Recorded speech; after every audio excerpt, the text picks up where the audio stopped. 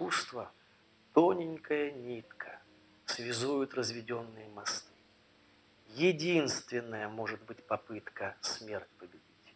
Искусство – это ты. Поэты молодеют, умирают.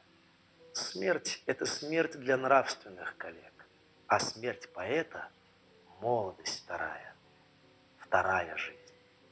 Теперь уже навек.